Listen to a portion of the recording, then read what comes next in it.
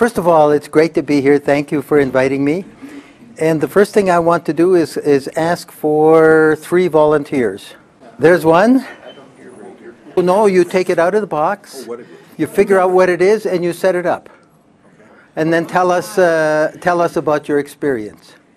I'm going to talk to you about an organization called IDE that I started 25 years ago. And when I reached the young age of 72, I decided it was time to hand it over. So uh, we've now appointed my successor, and I've started a new organization.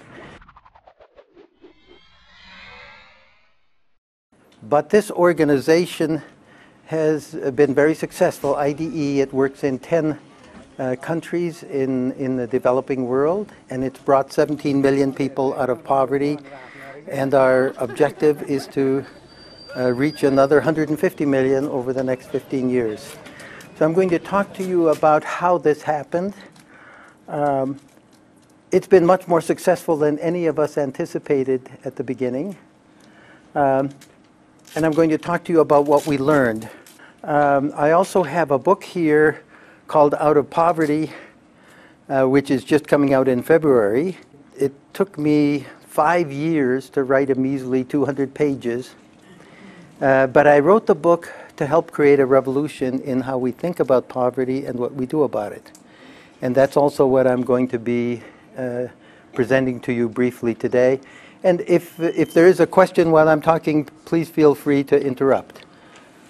How are we doing over, over here on this project? Wonderful. Wonderful.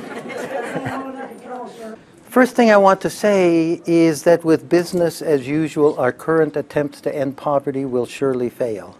And here are some uh, examples. Here are the results of, uh, many of you probably have heard about the Millennium Development Goal Project. This is a very uh, ambitious project led by uh, the United Nations to cut in half the number of people in the world who live on less than $1 a day. There are 1.2 uh, billion of them. Here are the results of that initiative between 1990 uh, and 2002 in sub-Saharan Africa.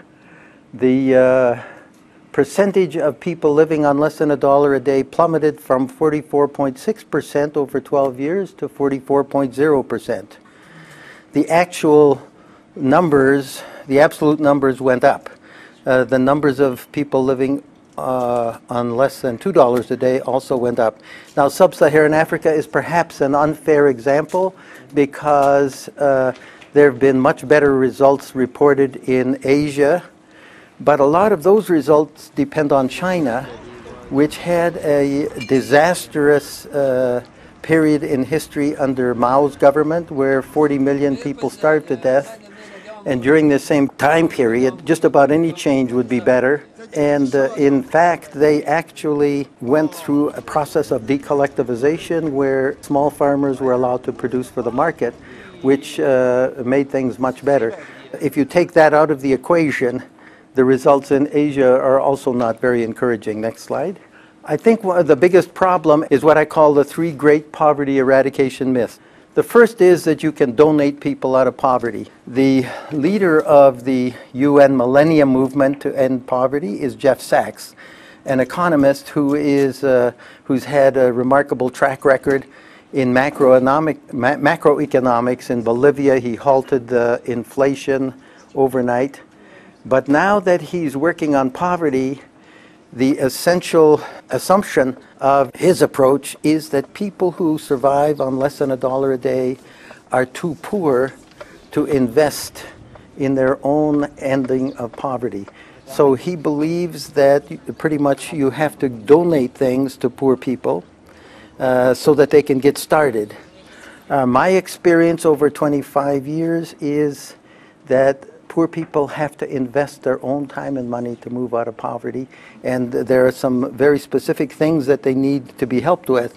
But unless they're ready to invest their own time and money, uh, it's probably not going to work. But more than that, if you pour huge amount of donated equipment, donated experts, and large technology into any country, uh, you actually undercut people's ability to move out of poverty themselves. And at the end, uh, things are about the same or somewhat worse. These things are destined to fail. The second big uh, assumption is that you can end poverty through national GDP, per capita GDP growth. Much of development practice today and the uh, initiatives to end poverty is led by the economists. Most of the economists have macroeconomic views. That is, it's the national economy that you have to change. And uh, the problem with national uh, GDP per capita growth is that it's basically focused in cities uh, and in industrial growth. And while the economists are right that since the Industrial Revolution, there have been waves of economic growth that have brought a lot of people out of poverty, the dollar a day people now who are left behind are in remote rural areas that tend not to be affected much by national economic growth. So economic growth is necessary, but it has to be in the remote rural areas where most of the dollar a day people live, not national. The best example of this uh, about national GDP growth is if Bill Gates earns a billion dollars a year and I earn $500 a year, it gives me scant comfort to realize that the average salary of my income and Bill Gates is, what is it, less? Uh, $500 million, $225 a year. That's the problem with GDP growth. The problem of poverty is local and it tends to be primarily rural. The third one is the most tantalizing myth, and that is that multinationals and big business, as it is now, will end poverty the people that I've talked to who are poor, and I have interviewed now more than 3,000 of them personally, tell me that the most important thing they need to get out of poverty is to earn more money. If the major problem is earning more money, who, after all, knows more about that than multinationals? But the problem is that unless multinationals, as they are now, uh, go through a revolution in how they design, price, and market their products and services, they will not have a big impact on the poor. You can't simply uh, have an impact on poverty through business with business as usual or with cosmetic changes in the current products. Uh, for instance, we've heard a, lo a, lot about a laptop computer and the $100 laptop, uh, but you have a billion people in the world who can't read and write. What are they going to do with a laptop even if it's given to them? You see what I mean? So you have to design a radically different information device to reach these people. Here is the, the real center of the problem of dollar a day poverty in the world. 800 million of the 1.2 billion people who earn less than a dollar a day live and earn their living from tiny farms, typically one acre with scattered quarter acre plots. Small farms in the world are very, very big, but you wouldn't know it when you hear about agricultural policy. And here's some data for you. Um, of the, there are 525 million farms in the world.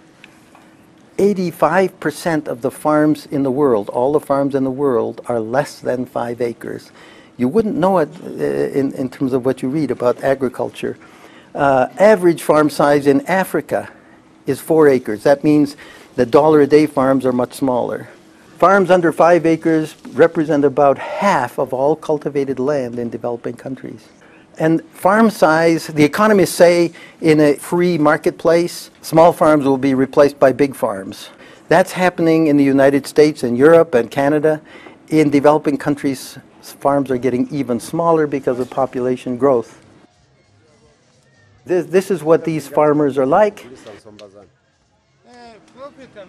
So small farmer prosperity is, is the key to ending rural poverty, and that, in essence, is what IDE has done.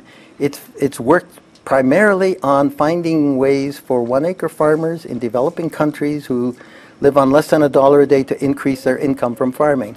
It seems very obvious, and some of the big things that make a difference in the world are fairly obvious and simple when you get down to it.